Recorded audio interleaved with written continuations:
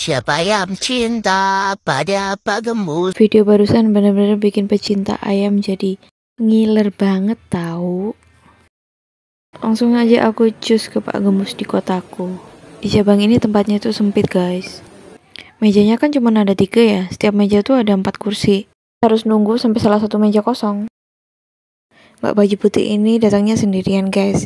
Jadi pikirku kan sayang ya kalau tiga bangkunya kosong. Jadi aku meminta sama masnya dengan sopan, boleh nggak kita sharing sama mbaknya?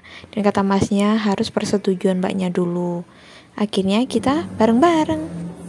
Harga ayam plus ST plus PPN 22.000 agak pricey untuk wilayah Malang ya. Cara, ini dia ayamnya. Tapi mohon maaf, ternyata bumbu kacangnya tidak sesuai dengan selera aku. Meskipun menurutku ayamnya digoreng dengan sangat baik ya. Ini banyak orang antri giliran makan. Semoga kalian semua sabar. Semoga Pak Gembus sukses selalu. Amin.